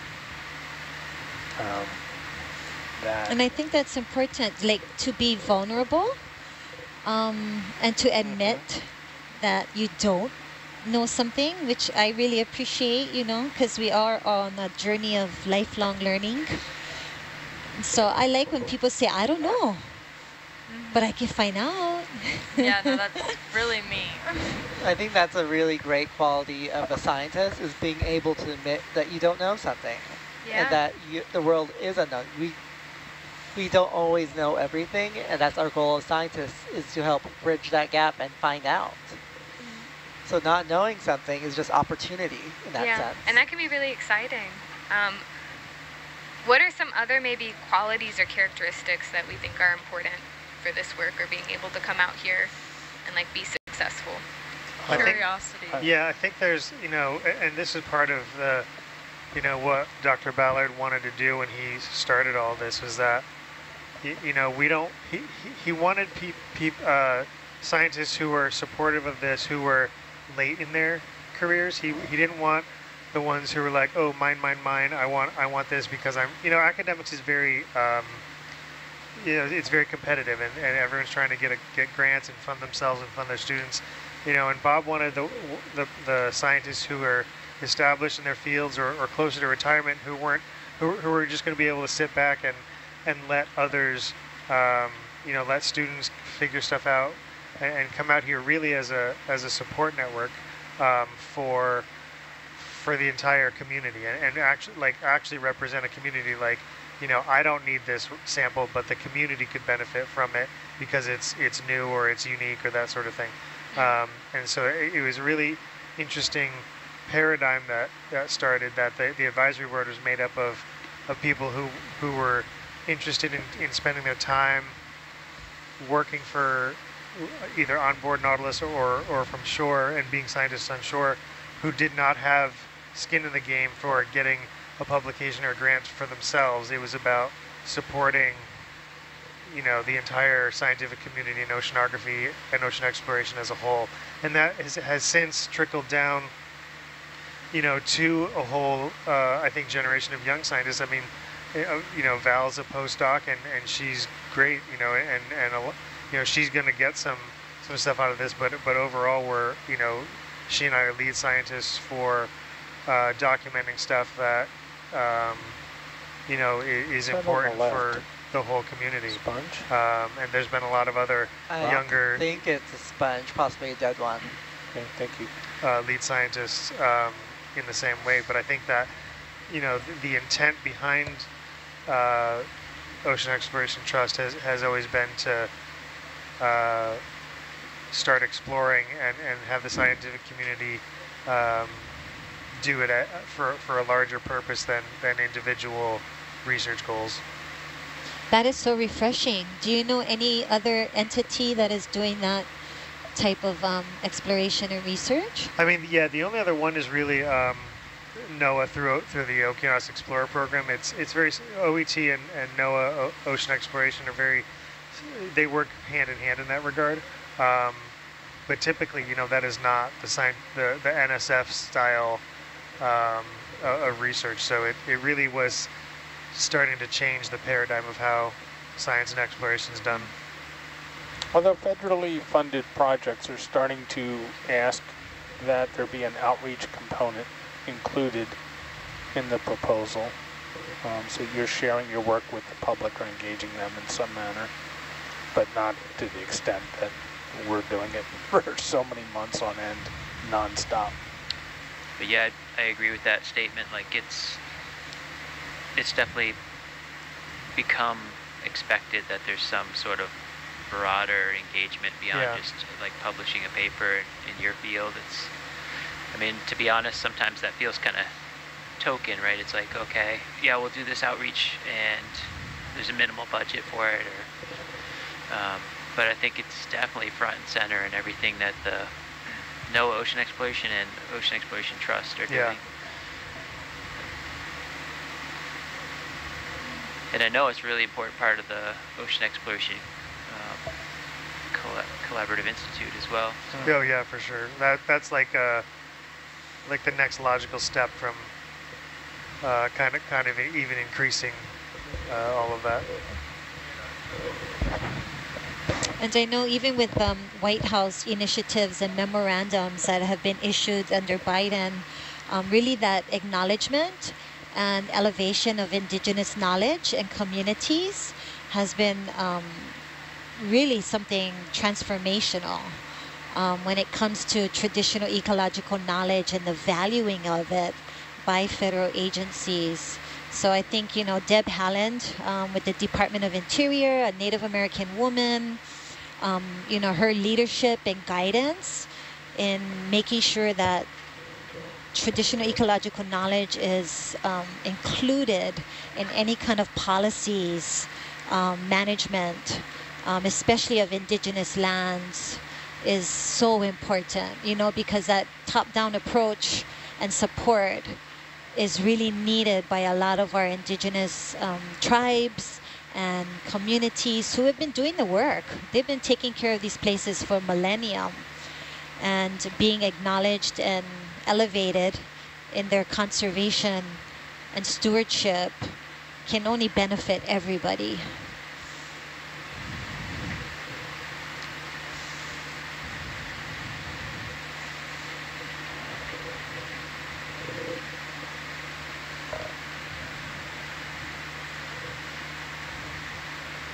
That was one randomly dense rock. Yeah.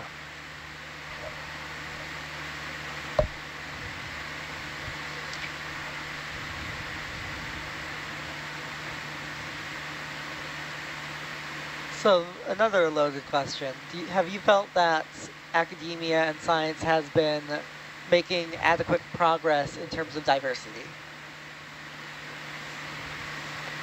Great question. Um, uh, I, I can tell you from my perspective as a 60-year-old white male that the amount of effort being put into into diversity and real effort into diversity and inclusion is orders of magnitude larger I can't speak to the results. Um, uh, but I, I, I would like to think that there's an appreciation for how much stronger a team is when there's a diversity of backgrounds and representation in that team. It's not an answer to your question, but it, has changed immensely over the course of my career, let alone the last decade, let alone the last two years. Uh,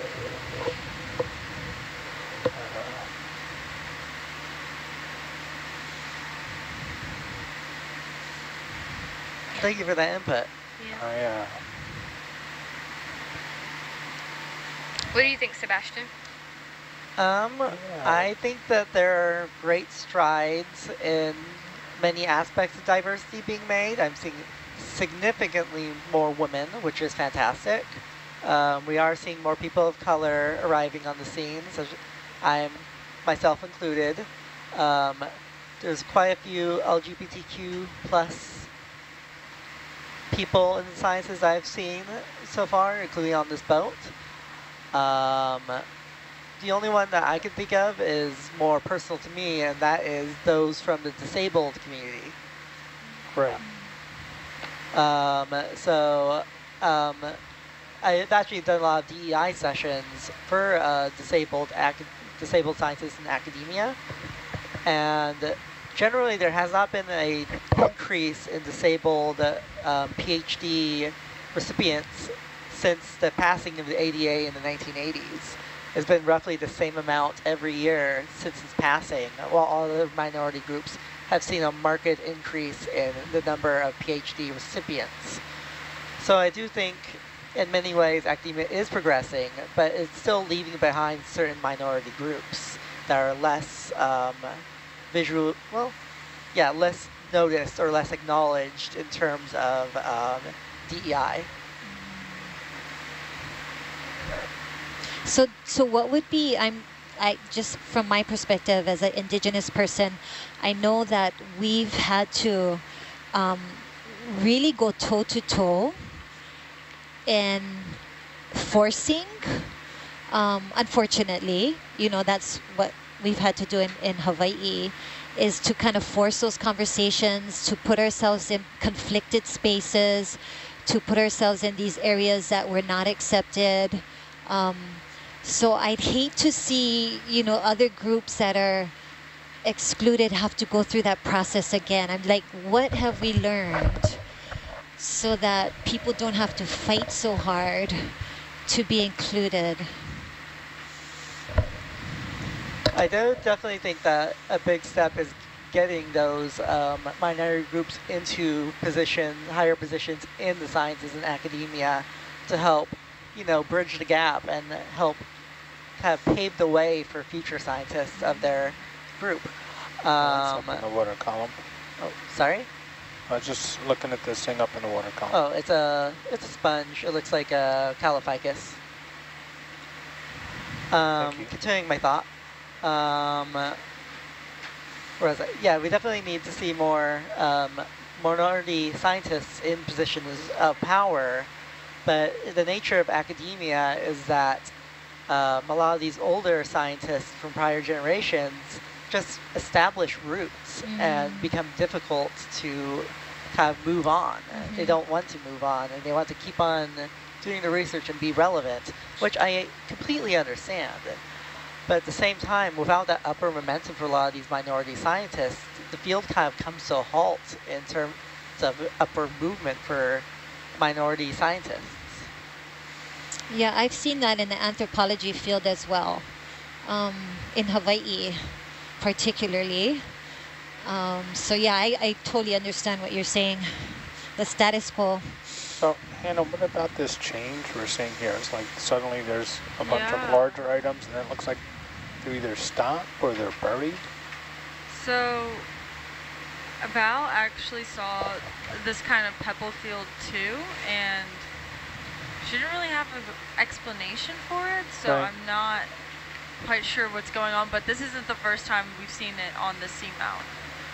If you think about it, I mean, we're really just shining a very small flashlight on a ginormous feature. So it's going to take a lot of time to really understand the whole area. Yes, I just find it really interesting that it's on the incline and not like in a saddle area. Yeah, it's almost, I kind of wish we could have that bigger picture of where it starts up and, and where it ends down. Like, is it a slide feature? or- Yes. Are these nuggets that we're looking at? Or are these just like pebbles? I think they're just pebbles, just again rock fragments. Val wasn't seeing any nodules. So it causes a ton of high frequency noise in the Sebastian, camera. thank you for sharing that. Oh yeah, of course. I could go far more into it, but I do not want to go into a rant. I would like us to enjoy the science in front of us. Yes. Mahalo, Sebastian.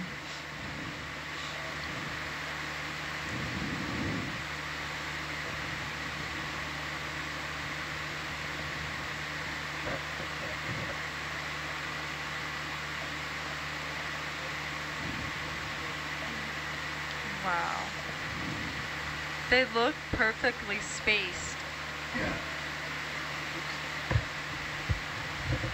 Yeah, it looks like just like a single layer. I'm sure Mhm. that's not, but yeah, it looks like they were like intentionally placed there.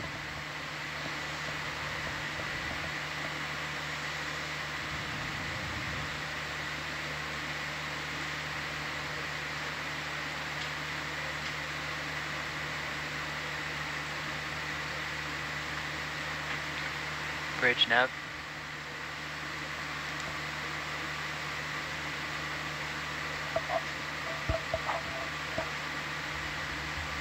Could you please track a line bearing 200 at 0.3 knots? Two zero zero. Point three.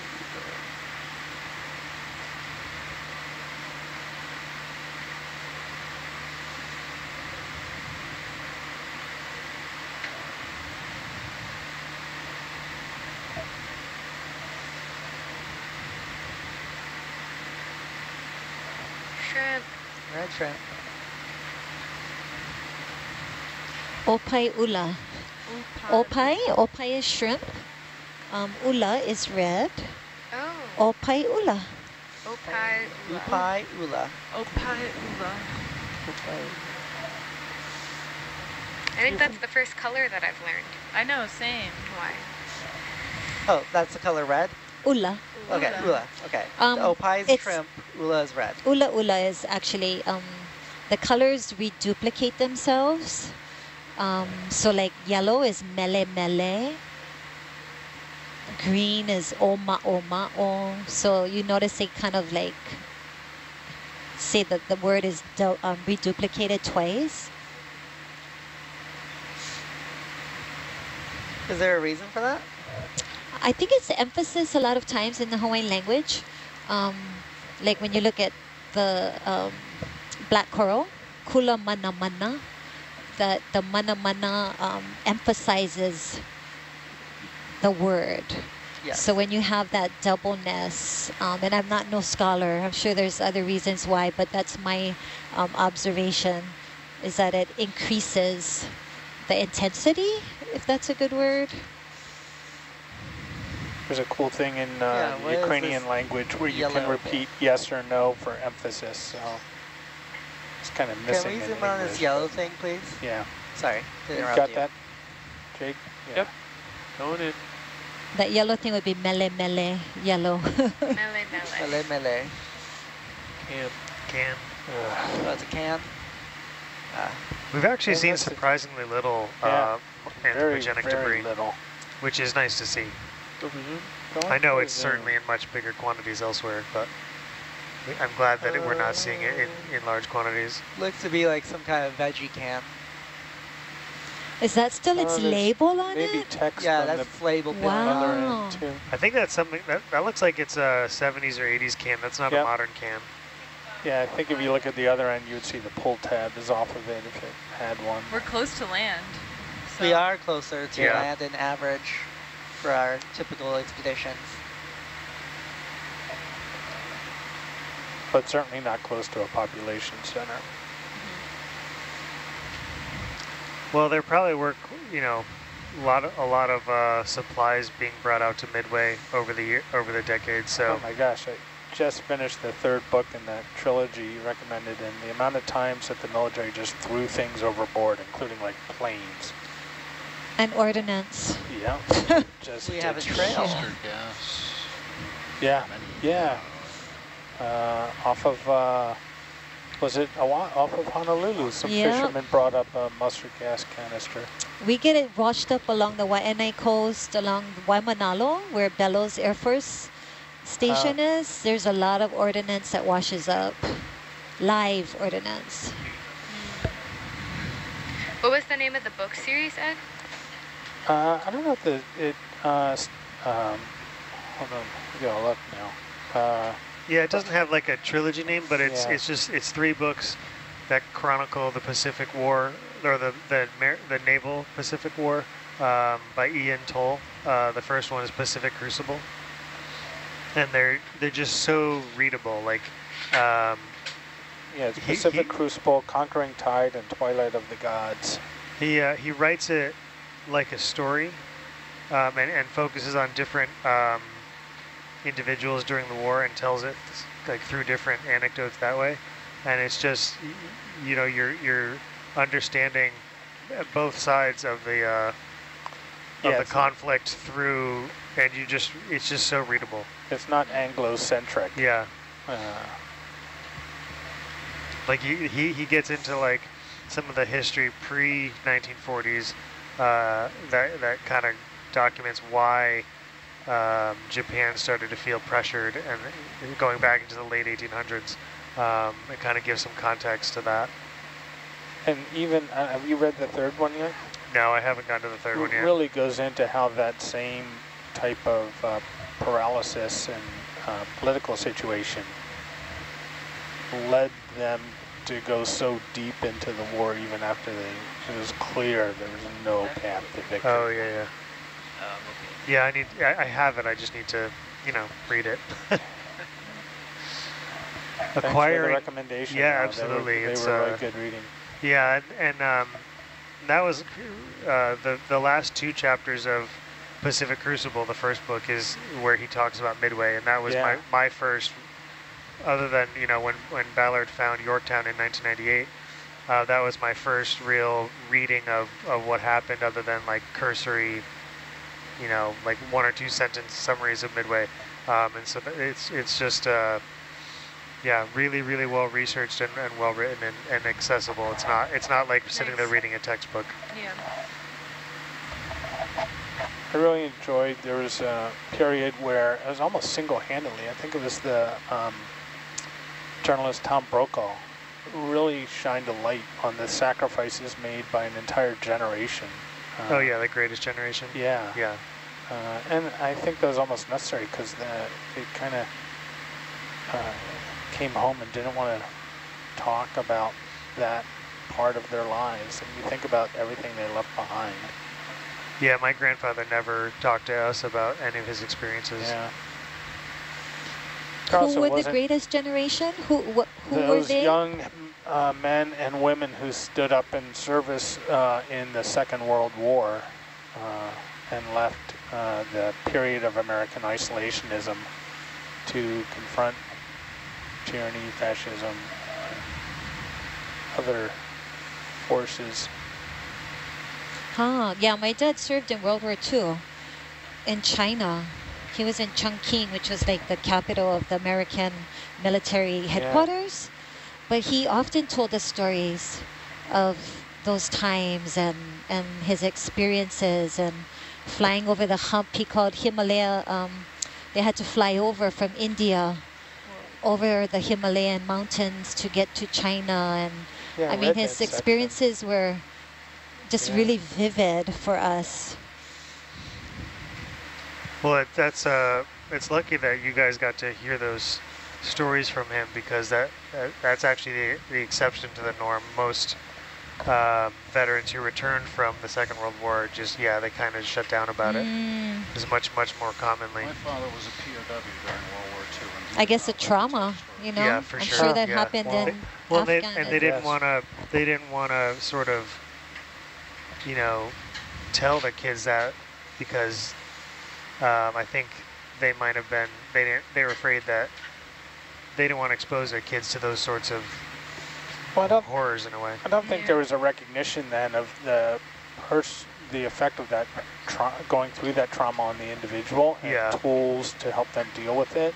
And I think there's a lot more recognition of that expertise in it nowadays. Yeah. Yeah, it's kind of like that silent stoicism, right? You just Right. don't speak about what Yep. hurts.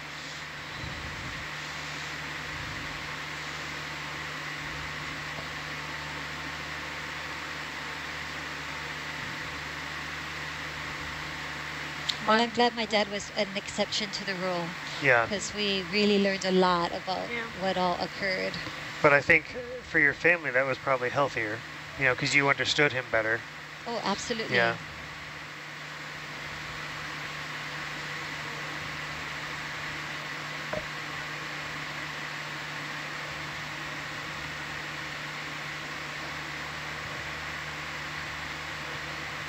Seeing another All right, dramatic Hannah, change what's that here the from the pebble field. Hmm? Oh, this thing? Yes. Uh, I'm gonna go. I'm gonna go crinoid. Crinoid. I think it's a. I can't tell from this far away, but I think maybe. I think I Brazilian. know what it is. Let's see if we can get. I think I'm wrong.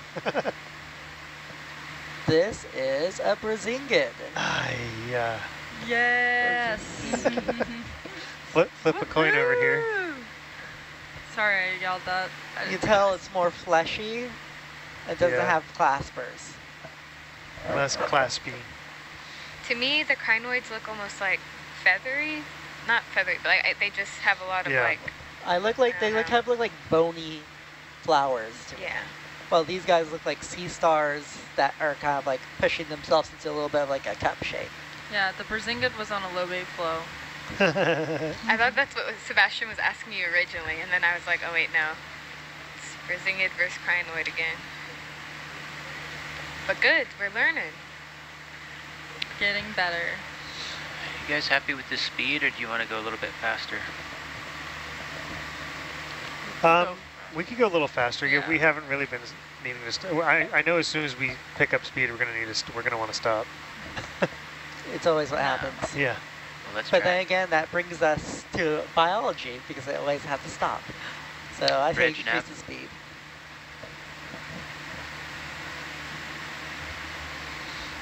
Could you please track a line bearing 205 at 0.4 knots? Thank you. So Hannah, this pebble field that we're looking at, um, any ideas about like how this got here? Are these just rock fragments that like have been falling and then are resting here after being like broken apart even more?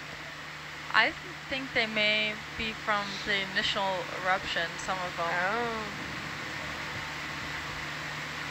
I like bits of magma just like falling and cooling quickly. That's that's what I'm thinking. And also I have seen like see this like massive like lobate flow just surrounded by it. It makes me believe that it could have come from another place, but I think it's just too much for it to be just like debris fall. I think it was I was like, um, it just happened quickly when it was cooling rapidly and fragments just fell.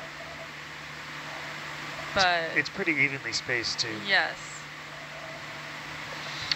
So uh, while we're just kind of cruising along, um, Yeah. I'd like to discuss uh, where we're headed. Um, so after waypoint 9, we have a decision to make. Um, we can either head towards the original waypoint 10, but a little east of that, um, kind of stay right along this Fish. Fish. ridge drop-off, Yeah. um, or we could head up towards this uh, sort of pinnacle feature to the east And uh, that's waypoint 10 updated. Um, but we really have the choice to do either one, depending on whether we want to get to the top of that pinnacle or whether we want to skirt along the edge of the steep um, slope that Um, comes in from the west. So my, uh, you know, my thoughts would be maybe we do kind of both. We skirt along the western edge, but then we cut uh, 90 degrees and then go up to waypoint 10. Like, Yeah, like that make an L, point. like an L shape. L shape. I mean, that's going to cost us a lot of time is the trade-off there. So if, if we True. want to Oh yeah, reach we only have a little this, while left, don't we? Can uh, we do kind of like a J shape instead? I, I, I would say if we want to get to waypoint 13, you're going to have to choose one or the other. Okay. Okay. Time, time-wise. Um, yeah, so I know that um, Rennie had updated that. I don't know if the P the pinnacle at 10 or the pinnacle at 13 is the priority though.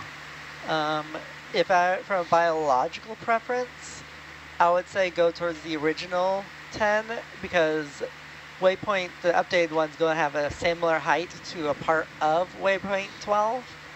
So we're probably going to see similar communities in terms of depth. While waypoint 10 has that steep edge to it, which we could see some very thick um, cliff communities possibly. Yeah, I'm not. I'm just not sure that we're going to get to waypoint 13 either way because we've only got about two hours left of bottom time. True. Um, but yeah, I, I think maybe just going in at like 0.3 or 0.4 and just trying to get as far along, far south as possible makes sense. Hummus. Um, we could also ask, ask if The only Uh, thing about moving at point four is it's a lot less. We get a lot less time for zooms and Right. Well, we like can do sa- 0.3 stopping then. and sampling. More difficult. Well, for rocks, we also want to collect on the red, the uh, the ridges.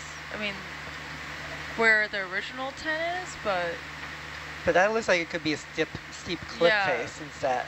but maybe like getting a rock like right here. In between 1.9 and 10? Yeah. Yes, right there. All right. I think the general consensus is to skip the updated 10. Okay. We could also inquire about Uh, extending the dive. something I- in the water on the laser. I'm not sure is- that's been vetted yet See with that? our exhibition lead. Oh no, there it is. Above the lasers. Yep. Or, or Neil. Um, but it seemed like they already shortened the dive, didn't they? I'm sure they had a reason. No, we started it at 11 la- yesterday. So it's it's he it's just uh, for a 24-hour period is what he put on the board. We Okay. actually didn't start the dive until like 12. Oh yeah, it was 13. 12. Oh, that's right. Yeah. So that's what I was saying. Like, it feels like they already shortened the dive. But I, th- I think that was just to give people more time around lunch and not have it be like a total crush on the team.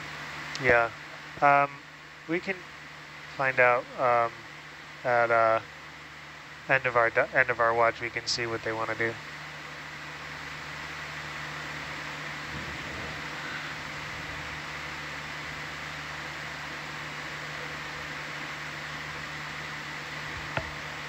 I presume.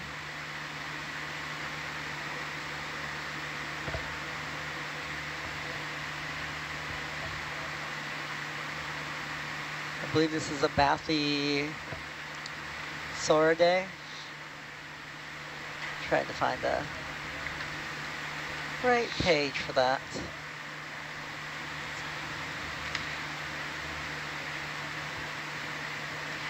I heard Bathian. I was reminded of Bathy Pathy. Bathy Bath Pathies. Hmm? We saw several of those, but I just didn't mention it because we were talking. The Thipathies.